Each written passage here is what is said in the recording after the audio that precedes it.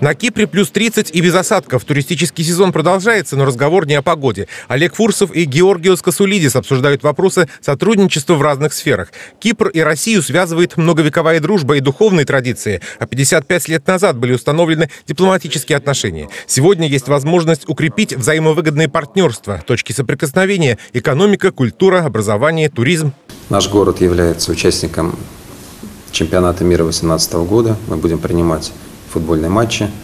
Город меняется активно. За оставшиеся два с небольшим года предстоит сделать много работы. Губернатором Самарской области Николаем Ивановичем Меркушкиным уделяется повышенное внимание развитию инфраструктуры города. И мы можем касаться не только вопросов, связанных с инвестициями, с туризмом, но и вопрос развития культуры и, конечно же, обмена образовательными практиками.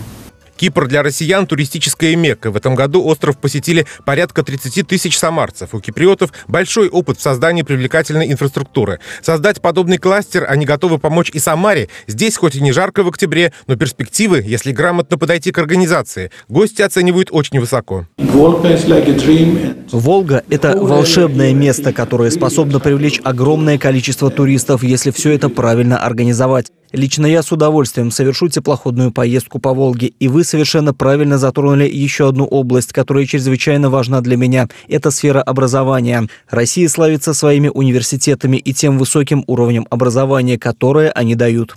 Судя по настроению посла, все задуманные проекты должны быть успешными. Он даже предложил установить партнерские связи между Самарой и городами островного государства. Открытие Генерального консульства Республики Кипр будет этому способствовать.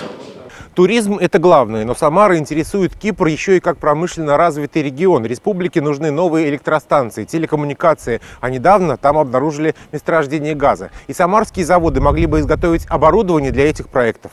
Сотрудничество по самым разным направлениям детально обсуждалось на Кипрско-Российском бизнес-форуме, который организовала Торгово-промышленная палата. И Никосия, и Самара заинтересованы во многих проектах, тем более, что намерения подкреплены соглашениями на высшем государственном уровне. А значит, солнечные республики республика и Самара еще долго будут поддерживать исторически сложившиеся традиции. Олег Зверев, Константин Головин. События.